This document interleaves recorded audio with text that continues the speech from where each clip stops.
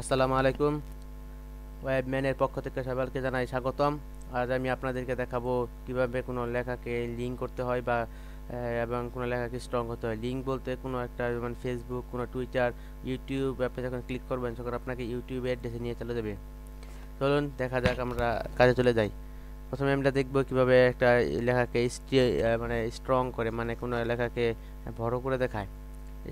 String করতে হলে একটা ই আছে এসটিএমএল ট্যাগ আছে, যেমন string S T R I N G string string শুরু করলাম স্ট্রিং না এভাবে স্ট্রং হ্যাঁ এস টি আর ও জি স্ট্রং আছে, যখন আমি এই পর্যন্ত স্ট্রং করব ফরেস্ট পর্যন্ত S S T R O N G strong strong করলাম হ্যাঁ এখন আমরা দেখি কি হয় সেভ করি সেভ করার পরে আমরা লাইন চেন ফায়ারফক্সে যাই দেখা যাক আমরা কোন পর্যন্ত স্ট্রং করেছিলাম। উপরের দিকে না? একটু সময় নিচ্ছে দেখুন। ইকোমার কি বলে? ইনোমারাস অ্যান্ড ম্যাংগ্রোভ ফরেস্ট ঠিক আছে? এটা হচ্ছে আমরা ভোল্ট হিসেবে স্ট্রং হিসেবে এসেছি। এখন যদি আমরা স্ট্রং এই এই লেখাটুকে যদি আমরা লিঙ্ক করতে চাই, আমরা লিঙ্ক করতে পারি।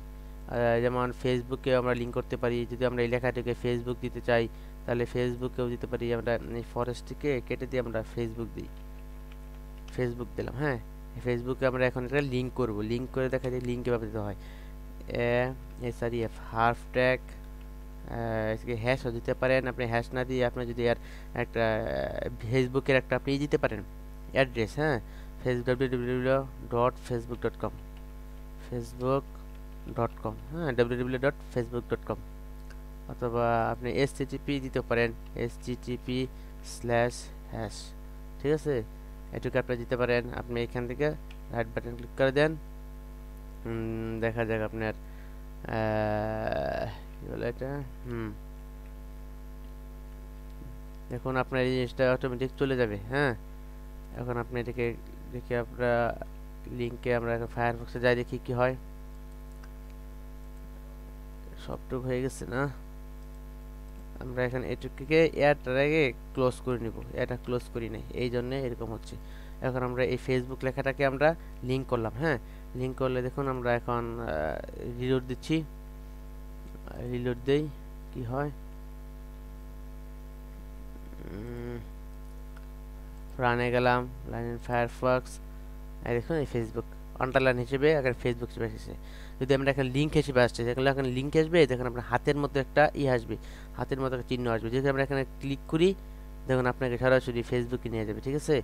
দেখুন আমার বর্তমানে নেটটা একটু স্লো হচ্ছে, তাই একটু প্রবলেম হতে পারে। দেখুন নেটটা একটু ডিস্টার্ব দিচ্ছে হ্যাঁ? ডিস্টার্বের কারণে সমস্যা হচ্ছে। যাই হোক, আপনারা বুঝতে পারছেন নেটটা ডিস্টার্ব দিচ্ছে আমার। এই যে এভাবেই এই লিঙ্কগুলো করতে হয় হ্যাঁ? আশা করি আপনারা বুঝতে পারছেন। আজ এই পর্যন্তই, আর বেশি দেখাবো না। আগামী দিন আপনাদেরকে কীভাবে ফোল্ডার নিয়ে কাজ করতে হয় ইমেজ নিয়ে কাজ করতে হয়, সেগুলো আমি দেখাবো। সো যারা যারা আমার ভিডিওগুলো দেখছেন, আশা করি আপনারা আমার ভিডিওগুলোকে লাইক কমেন্ট করবেন শেয়ার করবেন।